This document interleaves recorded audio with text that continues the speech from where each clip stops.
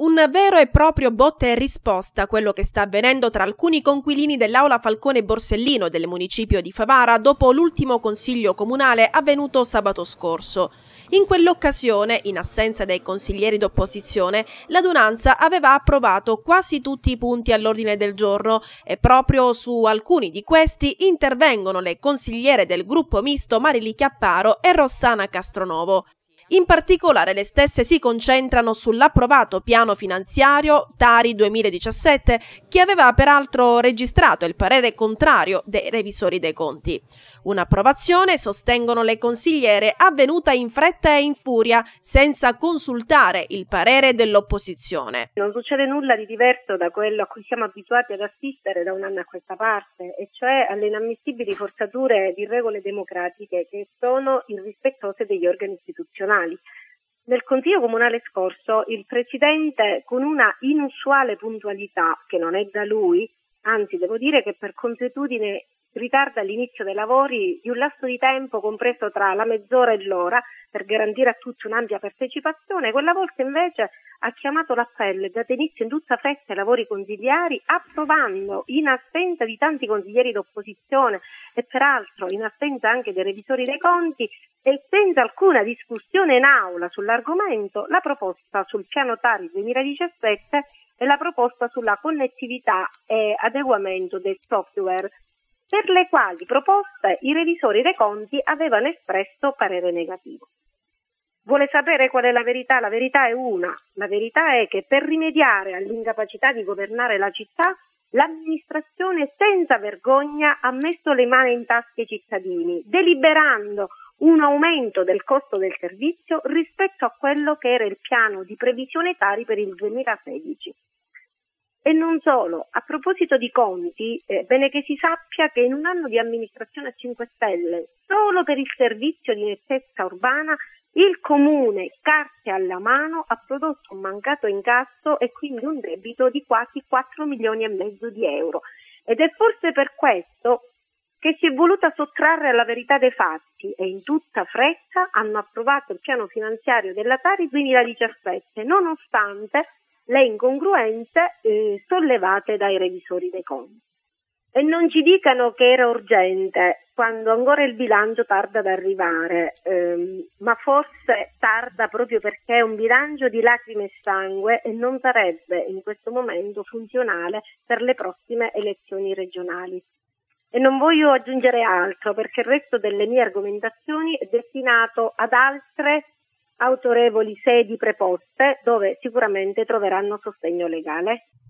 Pronta la risposta del gruppo consigliare pentastellato con una nota a cura del consigliere Carmelo Sanfratello. Per quanto riguarda l'assenza dell'opposizione, per buona parte del consiglio la colpa della maggioranza, scrivono, sarebbe quella di essere stata puntuale. Il consiglio comunale di venerdì praticamente aveva iniziato con mezz'ora di ritardo il consigliere Scalia aveva richiesto al presidente del consiglio comunale di essere puntuale per la prossima volta, lamentandosi di questo ritardo appunto dell'inizio dei lavori.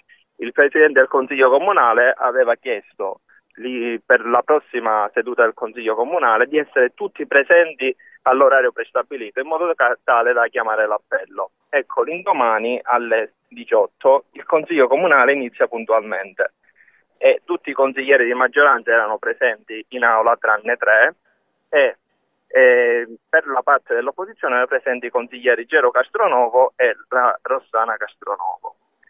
E, durante le fasi di consiglio comunale il primo punto che è il verbale dell'approvazione sedute precedente viene eh, dato per letto e successivamente viene letta la proposta Tari da parte dell'ingegnere Avegno. Eh, la consigliera Castronovo ritene opportuno non intervenire durante questa, questo dibattito che si doveva aprire sulla questione Tari. Noi già avevamo chiarito di, con l'amministrazione e con i dirigenti comunali pertanto abbiamo votato positivamente. Quindi io non capisco questo tipo di polemica, anche perché firmato un, un eh, comunicato firmato dalla consigliera Castronovo, dove lei stessa presente in consiglio comunale non interviene, mi lascia alquanto perplesso. Voi parlate anche in risposta alle consiglieri Chiapparo e Castronovo di un risparmio del costo della Tari. Sì, Il risparmio c'è ed è effettivo e lo possono vedere tutti i cittadini perché il piano Tari 2016 è stato deliberato con un costo di 6 milioni e 8, quest'anno il piano Tari viene deliberato con un costo di 6 milioni e 2, quindi abbiamo un risparmio di quasi il 10%. Per quanto invece riguarda il buco di bilancio che avrebbe lasciato la consigliera Chiapparo durante il, la sua esperienza di assessore nella giunta precedente, cosa ha da dire? Eh, io ho da dire che la consigliera Chiapparo praticamente improvvisa presunte, eh, dei presunti buchi lasciati da, da, da, parte dell'amministrazione grillina. Ancora ad oggi non abbiamo nulla di ufficiale e, e, la mia è una provocazione. Piuttosto pensi lei a quanto ha fatto il primo anno di assessore eh, al bilancio con la giunta Manganella, il buco che ha lasciato lei, perché lì c'è un consuntivo e può essere tranquillamente eh, visto da tutti. Giunge quindi la controrisposta della consigliera Chiapparo che invita a sua volta chi interessato a produrre le cifre del buco di bilancio che la stessa avrebbe lasciato durante l'anno di assessore nella giunta Manganella. Replica anche della consigliera Rossana Castronovo. Sono una mente pensante, non sono uscita dall'aula perché chiamata da qualcuno. È inutile sprecare fiato quando chi sta dall'altra parte non è aperto al confronto. Solo per correttezza e per dovere di cronaca, chiarisco che, contrariamente alle illazioni del capogruppo 5 Stelle, e anche se a lui non farà piacere, io, e dico io, sono una testa pensante. Non mi sono allontanata dal Consiglio su suggerimento di nessuno e ho ritenuto non intervenire per due ordini di motivi. Il primo perché avevo già ampiamente espresso il mio parere nella prima interrogazione consigliare sull'argomento, poi reiterata in interpellanza e secondo motivo perché sarebbe stato del tutto inutile sprecare ancora fiato con chi non sente ragioni perché ha soggettato alle posizioni dell'amministrazione. Questi in sintesi gli argomenti centrali della faida interna al Consiglio Comunale Favarese, botta e risposta che si sta svolgendo a colpi di comunicati stampa, i quali possono essere consultati integralmente sul sito di informazione online siciliatv.org.